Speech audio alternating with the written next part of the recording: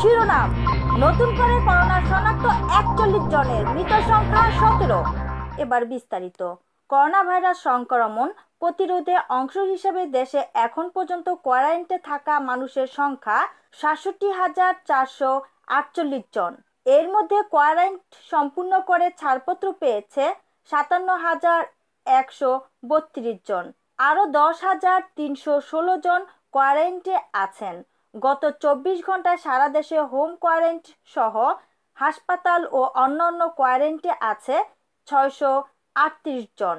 মঙ্গলবার সাতই এপ্রিল দুপুরে স্বাস্থ্য অধিদপ্তরের করোনা ভাইরাস সংক্রান্ত নিয়মিত অনলাইন ব্রিফিংয়ে এই তথ্য জানানো হয়। গত চব্বিশ ঘন্টায় সারা দেশে আইসোলেন্সে এসেছে তিরিশ জন। এখন পর্যন্ত সারা দেশে আইসোলেন্সে থাকা ব্যক্তির সংখ্যা চারশো তিয়াত্তর জন। এর মধ্যে ছাড়পত্র পেয়েছে তিনশো ছত্রিশ জন। বর্তমান আইসোলেন্সে আছে একশো সাতত্রিশ জন। বিভিন্ন হাসপাতালে চিকিৎসাধীন একশো চোদ্দ জন। কোয়ারেন্টাইন গত চব্বিশ ঘন্টায় হোম কোয়ারেন্টাইন ছয়শো ছয় জন, অদ্যাবধি সাতষট্টি হাজার একশো সতেরো জন। প্রতিষ্ঠান কোয়ারেন্টাইন গত চব্বিশ ঘন্টায় বত্রিশ জন এবং অদ্যাবধি তিনশো একত্রিশ জন। এখন পর্যন্ত হোম কোয়ারেন্টাইন এবং প্রাতিষ্ঠানিক কোয়ারেন্টাইন গত চব্বিশ ঘন্টায় ছয়শো আটত্রিশ এবং অদ্যাবধি সাতষট্টি হাজার চারশো আটচল্লিশ। যারা কোয়ারেন্টাইন থেকে ছাড় পেয়েছেন, গত চব্বিশ ঘন্টায় ষোলোশো বান্ন এবং আজ পর্যন্ত সাতান্ন হাজার একশো বত্রিশ। বর্তমানে হোম কোয়ারেন্টাইনে রয়েছেন সারা বাংলাদেশের বিভিন্ন জেলায়, উপজেলায় দশ হাজার একশো নব্বই এবং প্রতিষ্ঠান পর্যায়ে রয়েছে একশো ছাব্বিশ জন। সর্বমোট বর্তমানে কোয়ারেন্টাইন রয়েছে দশ হাজার তিনশো ষোলো জন। এর আগে দুপুরে সরকারের রোগতন্ত্র রোগ নিয়ন্ত্রণ ও গবেষণা প্রতিষ্ঠানের আইইডিসিআর পরিচালক অধ্যাপক ডাক্তার মির্জাদি সেব্রিনা ফ্লোরা বলেন, গত চব্বিশ ঘন্টায় দেশে করোনা আক্রান্ত পাঁচ জনের মৃত্যু হয়েছে। এই নিয়ে সরকারি হিসেবে মোট মৃত্যুর সংখ্যা দাঁড়াল সতেরো জনের। নতুন করে করোনা শনাক্ত হয়েছে একচল্লিশ জনের। এ মিলিয়ে দেশে সর্বমোট করোনা শনাক্ত হলো একশো চৌষট্টি জনের।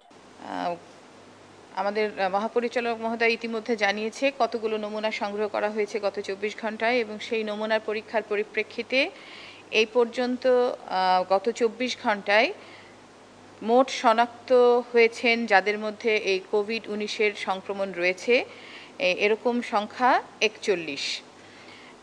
সর্বমোট এ পর্যন্ত আটই মার্চের পর থেকে এ পর্যন্ত মোট সংক্রমিত ব্যক্তির সংখ্যা একশো চৌষট্টি।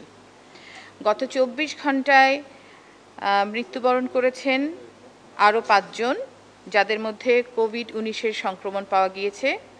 নিশ্চিত করা গিয়েছে যে তাদের মধ্যে কোভিড উনিশের সংক্রমণ রয়েছে। সর্বমোট মৃত্যুর সংখ্যা সতেরো। গত চব্বিশ ঘণ্টার মধ্যে নতুন করে আর কারোর মধ্যে আমরা নেগেটিভ পাইনি মানে নতুন সংক্রমণ নেই, এরকম সংখ্যা শূন্য। মোট সুস্থ হয়ে বাড়ি ফিরে গেছেন তেত্রিশ জন। আমি একটু এই যে একচল্লিশ জন আমরা নতুন শনাক্ত করেছি, তাদের একটু, তাদের বিশ্লেষণ দেখাই, বলি, সেটা আপনাদের একচল্লিশ জনের মধ্যে পুরুষ আটাশ জন এবং মহিলা ১৩ জন।